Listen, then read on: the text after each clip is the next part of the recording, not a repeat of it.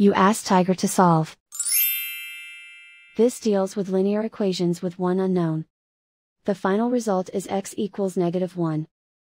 Let's solve it step by step. Simplify the expression. Expand the parentheses. Simplify the arithmetic. Expand the parentheses. Group like terms. Simplify the arithmetic. Group all x terms on the left side of the equation.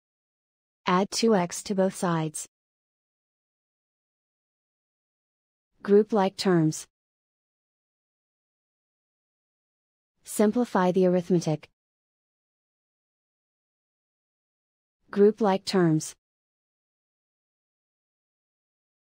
Simplify the arithmetic. Group all constants on the right side of the equation.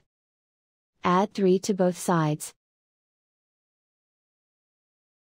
Simplify the arithmetic.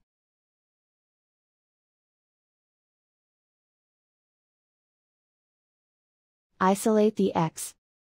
Divide both sides by 3. Simplify the fraction.